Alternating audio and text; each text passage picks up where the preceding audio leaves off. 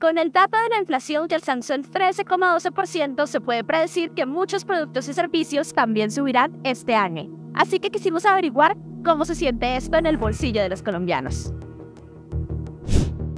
Para ello, visitamos la plaza del 7 de agosto ubicada en la calle 66, número 2320, y encontramos varios puntos de vista, tanto de los comerciantes como de los compradores. Por un lado, las personas de los locales explican que el alza de los productos no depende de ellos, sino de muchos otros factores que tienen que ver con el transporte, por ejemplo.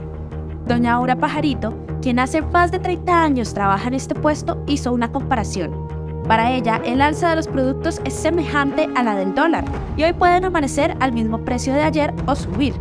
En su puesto, la arveja ha disminuido, pero la cebolla ahora cuesta cuatro veces más. Luego está María Borges, quien se dedica a la venta de frutas principalmente, y cuenta que la manzana importada cuesta 2 mil pesos la unidad, mientras que la nacional está en 3 mil pesos la libra. Para ella, enero particularmente es un mes difícil en términos de abastecimiento, y espera que para el 20 de este mes ya todo se normalice. La señora Mariela Hernández relató que ahora opta por comprar las porciones del día, pues el dinero no le alcanza para mercar semanal o quincenalmente a pesar de que solo viven tres personas en su casa. En todo el recorrido por la plaza pudimos evidenciar que los aumentos de los siguientes alimentos son reales. La arracacha subió el 109,84%, la cebolla 106,81%, la yuca 88,08%, el plátano 64,12% y el café 52,69%.